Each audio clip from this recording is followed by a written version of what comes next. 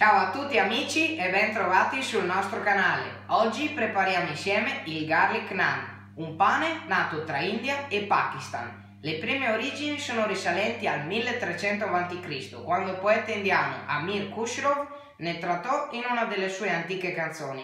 Però si pensa che abbia origini tanto più antiche e che risalga dal commercio del lievito tra Egitto a India. È un pane molto servito in tutti i ristoranti indiani e pakistani. Viene cotto nel tradizionale forno tandoor, che è una specie di cilindro di argilla oppure una campana rovesciata con il fuoco alla base, che può arrivare a temperature altissime, fino a 500 gradi. Qui i cuochi bagnano leggermente il pane e lo attaccano alle pareti. Questo dopo si gonfia e quando si stacca lo prendono al volo. È davvero scenografico da vedere e pensate che ne fanno migliaia per i matrimoni. La cosa particolare è che bisogna romperlo, lo prendi con tre dita e lo inzuppi nella salsa, nel sugo, nel riso o in qualsiasi altro piatto che preferisci abbinare. Ha un gusto unico e particolare. Iniziamo! Iniziamo la ricetta mettendo in una bowl 500 g di farina 00, 7 g di lievito secco, 10 g di zucchero semolato, 8 g di sale, poi diamo una mescolata. Aggiungiamo 250 g di yogurt magro. Questo ingrediente renderà il pane molto soffice. 20 ml di olio evo. Continuiamo ad impastare. Quando il composto sarà abbastanza amalgamato, iniziamo ad aggiungere 100 ml di acqua tiepida poco alla volta, continuando sempre a mescolare.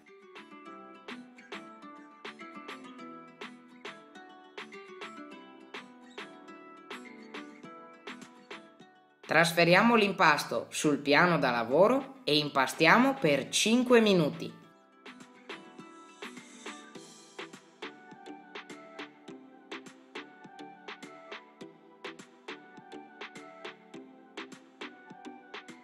Risulterà un po' appiccicoso, ma non si dovrà attaccare alle mani.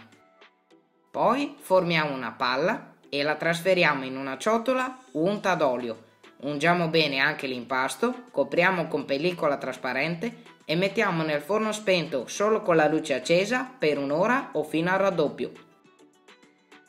Ecco il nostro impasto dopo un'ora di lievitazione.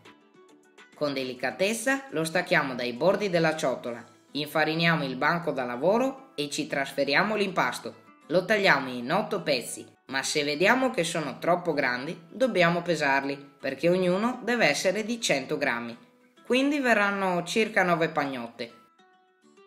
Adesso prendiamo un pezzo di impasto, portiamo tutti i lati verso il centro con le nostre dita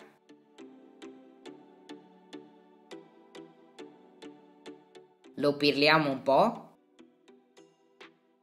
e lo mettiamo sul banco da lavoro infarinato, così non si attacca. Continuiamo così con le restanti palline.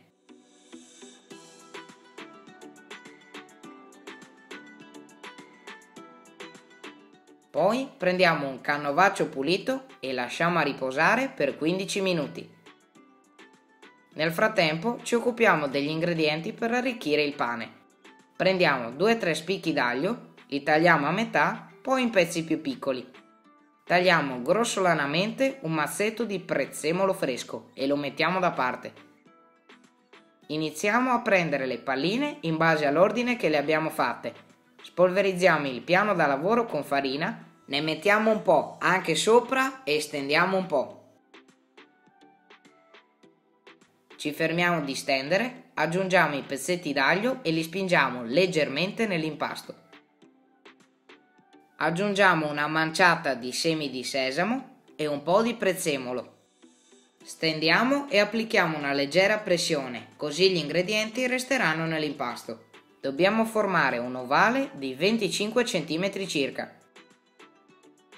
Con delicatezza lo mettiamo su una teglia antiaderente molto molto calda, a fiamma media, e cuociamo per 30 secondi, finché vediamo che si formano delle bollicine. Giriamo e cuociamo per altri 40 secondi, stando molto attenti a non bruciare il pane. Se serve, continuiamo a cuocere fino al raggiungimento della doratura Subito dopo spennelliamo sopra dell'olio e continuiamo così finché non li finiamo. Ecco qua i nostri nan appena finiti di cuocere. Volevamo farvi vedere la struttura interna. Il pane è morbidissimo, si presta a mangiarlo caldo appena fatto. Assicuriamo che è straordinario.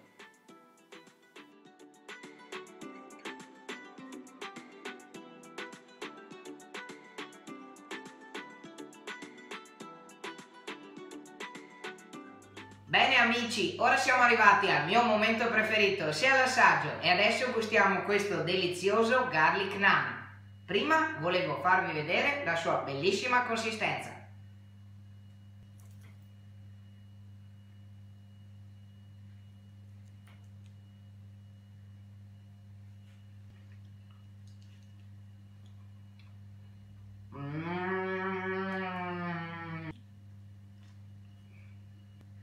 Che dire, è buonissimo, bello gustoso, saporito e si può abbinare letteralmente a qualsiasi cosa, che si tratti di sughi, salse, affettati o come si mangia in India con il pollo curry. Il vero protagonista di questo pane è lo yogurt, che riesce a renderlo morbido come una nuvola per dei giorni e dona un gusto buonissimo. Cosa posso dirvi? È assolutamente da provare! Bene amici, il nostro video si conclude qui. Vi piace il nostro canale? Iscrivetevi e lasciateci un bel mi piace. Non costa nulla, ma a noi può fare la differenza.